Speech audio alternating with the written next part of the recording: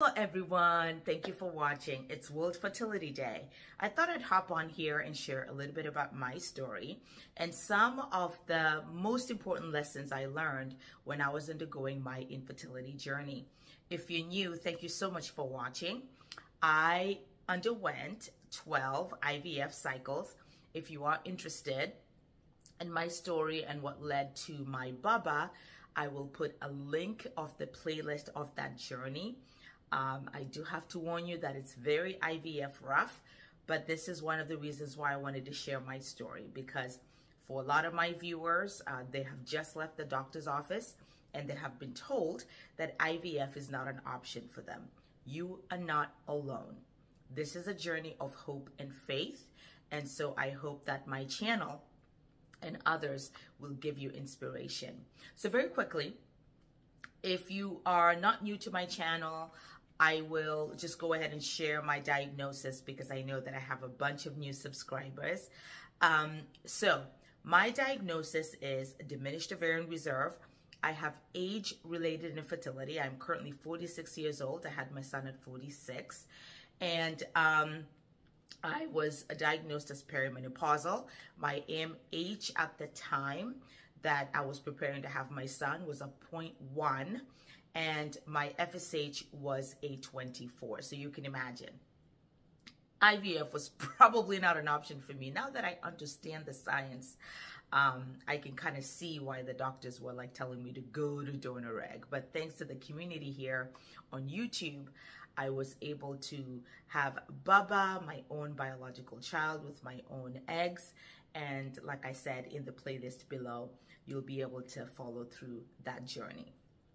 Now, today, I'm going to quickly share with you, because I know uh, to pay homage to this day, some of the important things I learned throughout my journey, uh, highlight. So if you are interested, um, stay tuned. The first thing that I learned in my journey that I think it's important for you to know is that for me, IUI was actually a waste of time.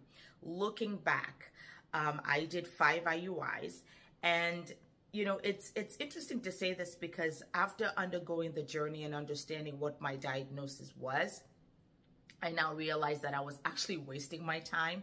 It's interesting because I did actually connect with an, uh, a doctor on YouTube. His name is Dr. Saul Silber. And he kept saying on his channel, uh, he's uh, the doctor of the fertility center in St. Louis, and he's a mini IVF doctor, which is the type of IVF that I uh, pursued. But I kept on saying about how IUI is a waste of time and you may as well just try on your own at home. And so um, if I, I know that if you're seeing this for the first time when you're going through IUI, you might be thinking, well, I'm not quite sure. But I promise you, particularly if you're older, you probably would rather go straight into IVF. Now, if you want to try, because I'm a huge fan of trying, don't do five IUIs like I did maybe do one or two at the most three IUIs and then proceed on to IVF. The reason IUI ended up being a waste for me is because it really was not going to work. At my age, over 40, I needed a more intrusive approach to ensure that I would be able to uh, take my take-home baby. And I realize that now. So hopefully that tip is useful for you.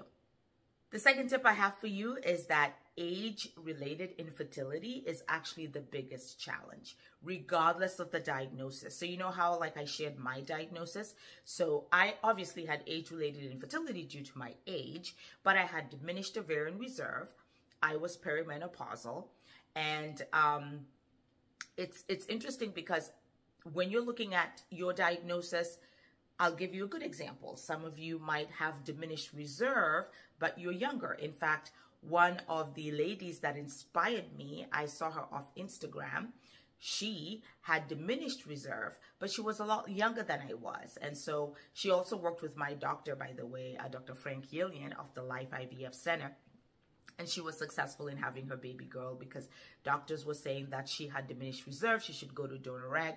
But then obviously the miracle doctor, Dr. Frank Yelian, was able to work with her and she had her take home baby.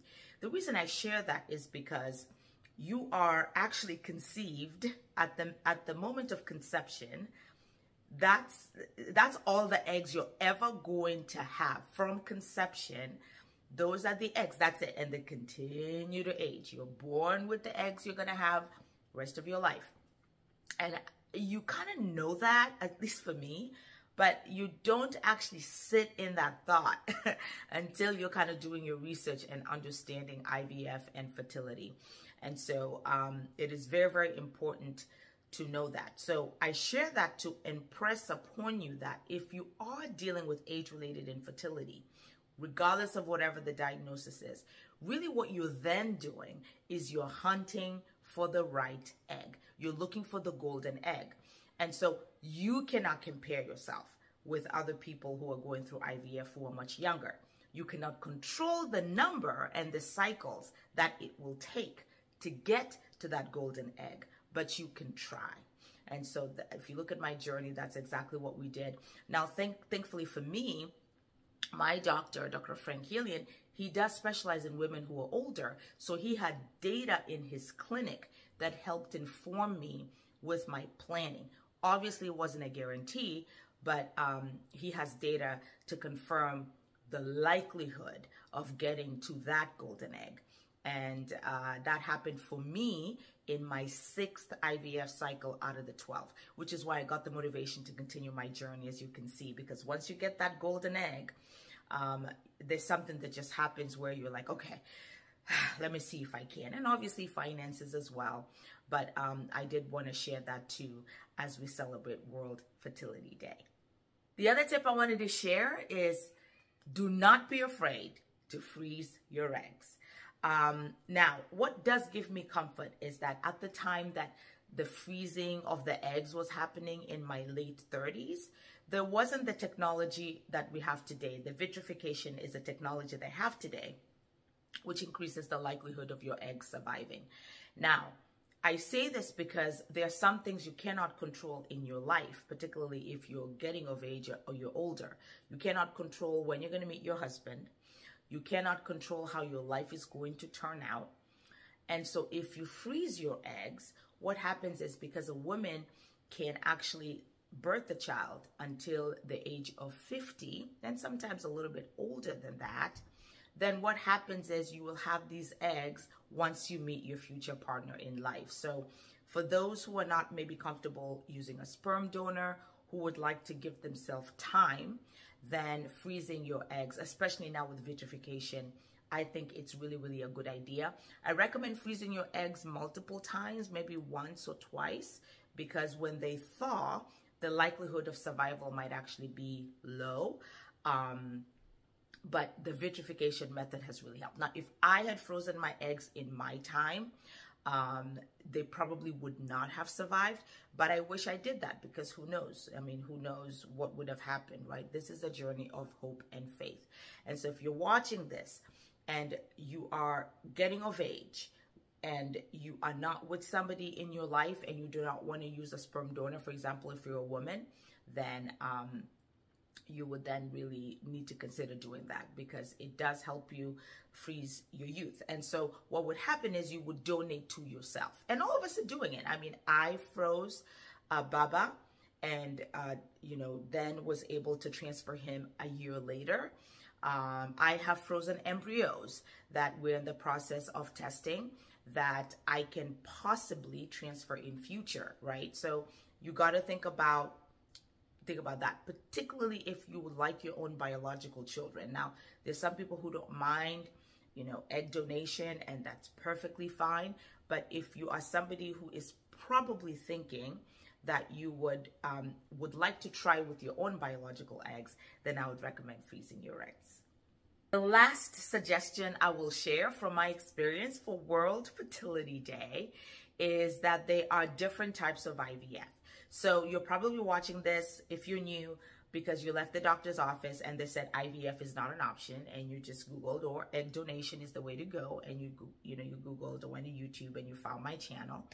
And so I will share this with you. I did not know at the time that the real language was supposed to be that the type of IVF that is commonly offered, which is conventional IVF, was not going to be the fit for me. Really, that's what my doctor should have told me. Um, but after doing research, obviously, is how I discovered that there are different ways to do this intrusive method once you are have age-related infertility. So the the types of IVF are conventional IVF, so that's the standard IVF. There's a lot of medication. It's a real blessing because you can actually um, have your own family from just one cycle or two cycles. And those with um, a lot of eggs, if you do antral follicle count and you have a lot of eggs, um, I would say over six eggs, then uh, conventional IVF is, is absolutely the way to go. And then there is another IVF called mini IVF, which is what I pursued. Mini IVF is gentler on the body because if you have few eggs, you don't need all those drugs to make them mature. It ends up actually affecting the eggs, which is what happened to me. And so um, mini IVF just means reduced uh, medications to kind of tease the few eggs you have. And in some cases, I only had one that I needed teasing. And so um, that is the type of IVF I used. Um, and then there is ultra mini IVF, which is even more reduced medication, but just a little bit of medication to tease the eggs that you have. And then there is natural cycle IVF, which I also was able to um, pursue in some of my cycles. And most recently for my 13th IVF cycle that I am going to be sharing on my channel. So stay tuned. We did a natural cycle because again, when you just have few eggs, you don't need all those medications. Pregnancy is a natural process. And so and you know this, you know, if you're wholesome, if, if you don't need a lot of medications. And so natural cycle IVF is also a great way to go. So be informed. I, and I remember I wish at the time that I was informed, I wouldn't have been so devastated. But um, again, you're watching my channel for a reason. And so hopefully those are some options that you could discuss with your doctor.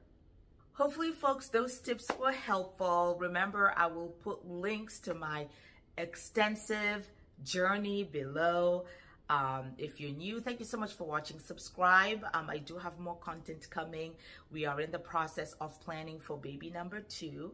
And so I underwent a PRP cycle and I also underwent my 13th IVF cycle and um, I will the process of getting those videos together for you so that you can be able to see the journal and what that journey was like in the hopes that it will inspire, motivate you, and maybe you could learn a tip or two uh, about some of the things that we learned. Thank you so much for watching. Until my next video, bye.